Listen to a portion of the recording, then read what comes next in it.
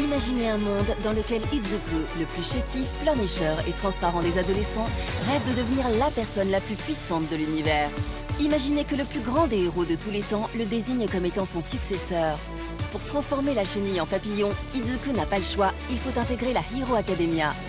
My Hero Academia, inédit en VOST, c'est tous les samedis à 20h50, seulement sur G1.